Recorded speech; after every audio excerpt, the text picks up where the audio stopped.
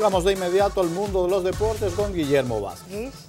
Bueno, y nos toca hablar de un dominicano que gana jugador de la semana en las grandes ligas, y es específicamente en la Liga Americana, uno que usted conoce, que hizo muy buena representación en el Clásico Mundial de Béisbol, y nos referimos a la pared en la tercera base, Manny Machado, de los Orioles de Baltimore. Eh, fue electo eh, jugador de la semana por su gran desempeño tanto a la ofensiva como a la defensiva. Ahí estamos viendo imágenes de los eh, de Manny Machado. Hay que decir que es la tercera ocasión en que gana este premio en las mayores. Llegó al mes de julio bateando para 216 de promedio, 289 de promedio de envasarse, pero eh, pues se encendió eh, con el bate la semana pasada, empujando 12 carreras y repartiendo entre los partidos cuatro cuadrangulares, incluyendo un Grand Slam en la remontada de los Orioles en contra de los Angelinos de Los Ángeles el pasado viernes, mejorando sus estadísticas a 266 de promedio, subiendo 50 puntos en el averaje de bateo, 319 para el porcentaje de envasarse y un slogan de 492.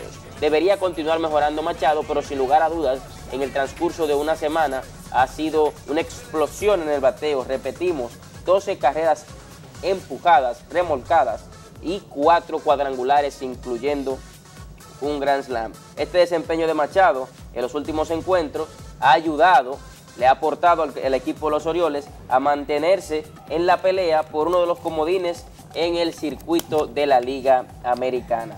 Antes del lunes los Orioles estaban empatados eh, con Tampa Bay, con los Rays de Tampa Bay, a cuatro juegos del segundo comodín y continúan allí con paso de vencedores gracias a esta labor del dominicano Machado, número 13 del conjunto de Baltimore. Señores, y vamos a pasar a la siguiente noticia. Si usted se perdió el eclipse del día de ayer, tenemos un eclipse que realizaron en, eh, pues, allí los vestidores del conjunto de los Dodgers de Los Ángeles. Vamos a ver ahí, son Justin Turner y Yaciel Puig.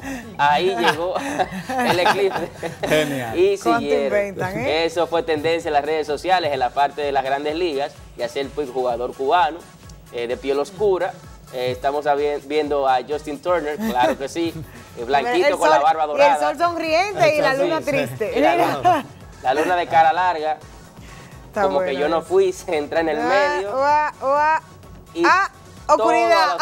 buena, buena inventiva en un momento de, separación y odio racial, incomprensión, donde hay sentido del humor por parte de los dos exponentes de, razas distintas, blancos y negros. Claro, y un equipo Orgullosos ambos de su color. Así es, y, un equipo, un latino también, un latino y un norteamericano, y un equipo que también está en su mejor momento. Los Dodgers de Los Ángeles es el conjunto con más victorias y que tiene perfil de poder llegar a la Serie Mundial en la Liga Nacional. Así que todo ocurrió en su momento, en el día del eclipse. Claro, esto tuvo que ver con que iba a llegar un eclipse eh, que pasó en el día de ayer. Ellos aprovecharon el momento, así que todos los fanáticos de los Dodgers estuvieron eh, posteando esto en las redes sociales. Y claro, todo el fanático del béisbol y que tiene sentido del humor estuvo disfrutando de esto, de las cosas que pasan en el deporte y aquí en AN7 usted se entera de todo y recuerde que continuaremos informándoles sobre todo lo que ocurrió también en las grandes ligas,